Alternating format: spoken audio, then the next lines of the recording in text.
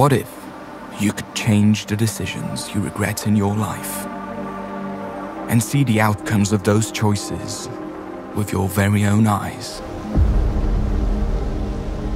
The Alters tells the story of Jan Dolski, a simple miner who survived a crash landing on a hostile planet. He quickly realizes that what was supposed to be a lifetime job opportunity turns into a desperate fight for his life.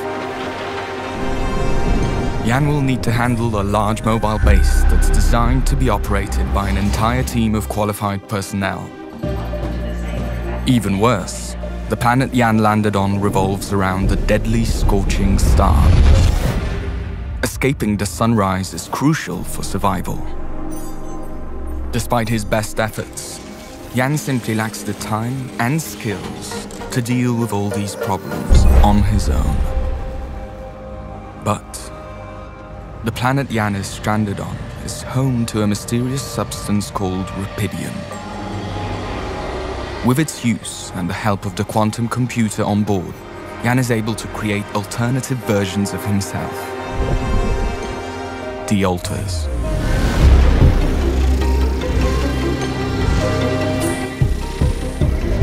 Each one of them is the result of altering a crucial decision from Jan's past.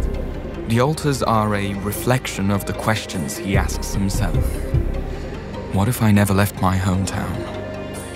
What if I didn't drop out of college? What if I fought harder to save my marriage?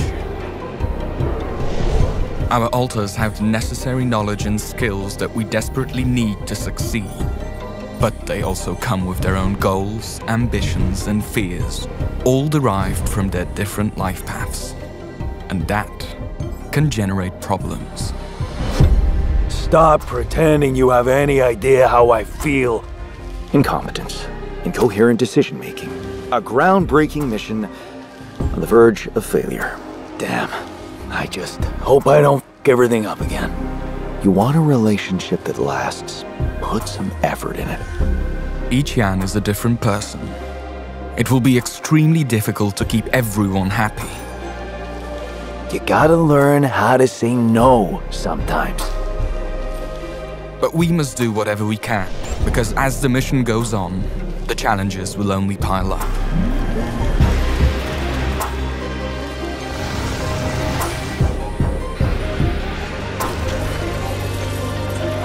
Obstacles on the outside, internal tensions that could prove to be even more dangerous, and with a ticking clock of the deathly sun behind our backs, the only way home is to press forward.